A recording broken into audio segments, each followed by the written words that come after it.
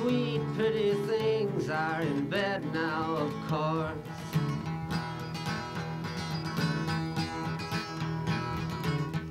The city fathers, they are planning to endorse the reincarnation of Paul Revere's horse, but the town has no need to be nervous.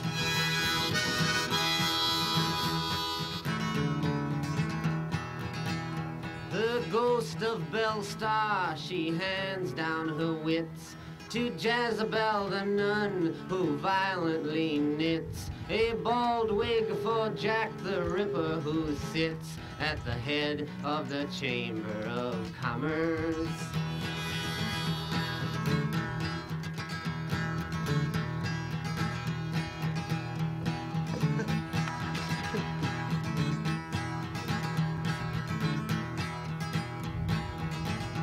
The screaming bride in the penny arcade. Screaming she moans, I've just been made. Then send out for the doctor who pulls down the shade and says my advice is to not let the boys in. Medicine man comes and he shuffles inside. He walks with a swagger and he says to the bride, Stop all this weeping and swallow your pride. You will not die, it's not poison.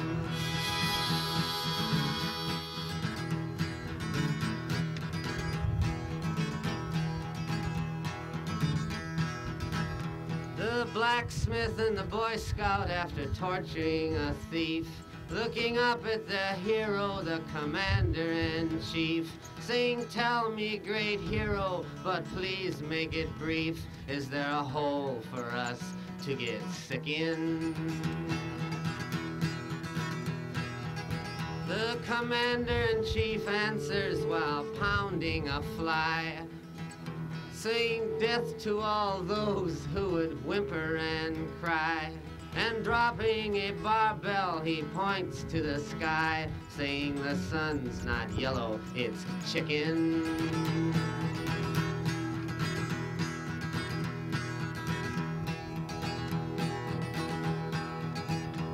The king of the Philistines, his soldiers to save, puts jawbones on their tombstones, then flatters their graves, sends the Pied Pipers to prison and fattens the slaves, and sends them out to the jungle. While Gypsy Davy with a blowtorch he burns out their camps. With his faithful slave Pedro behind him he tramps with a thousand dollar collection of stamps to win friends and to influence his uncle.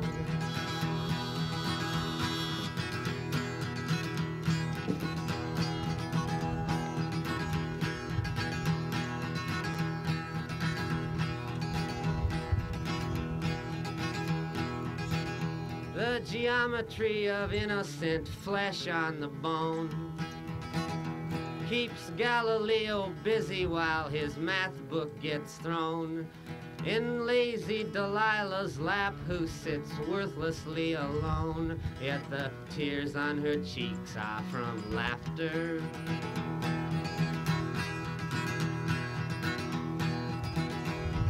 Wishes she could give Brother Bill his great thrill and set him in chains at the top of the hill. Then send out for some pillars and Cecil B. DeMille. He could die happily ever after.